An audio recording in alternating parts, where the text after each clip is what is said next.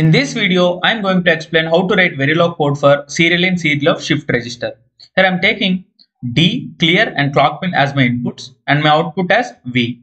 I am also taking a temporary register Q of 4 bit size, so 3 down to 0 Q.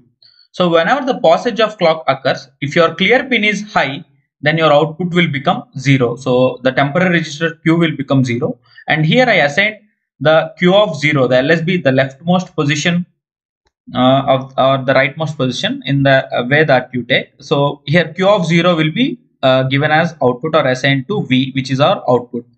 So when your clear is 0 then it will come here and the temporary register Q will be shifted one bit position to the right and my data D is fed as input serially. So the same thing uh, you can see here. So this is my Q of 3.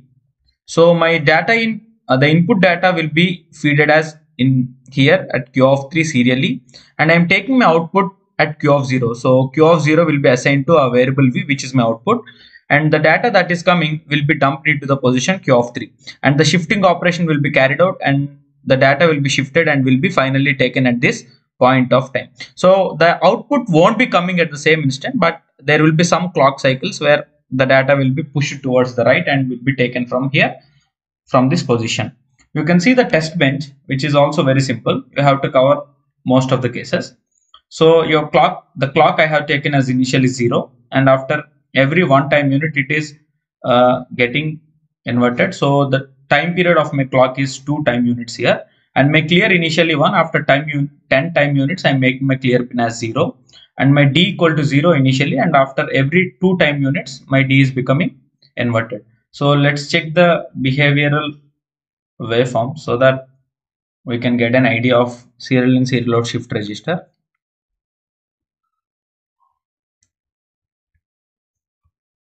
So here you can see when my clear pin is high, my output equal to 0 and when my clear pin is low at the first posedge of clock, I am giving my data in as 1 and at the next posedge of clock, the data in that is Q of 3 will be updated to 0 like that.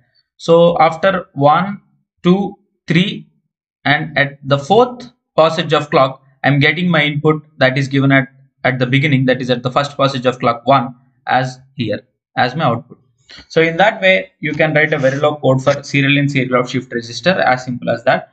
You can uh, write the code in other formats also. You can dump this and you can check for different cases and you can get an idea about serial in serial out shift register. That's all for this video. See you in the next one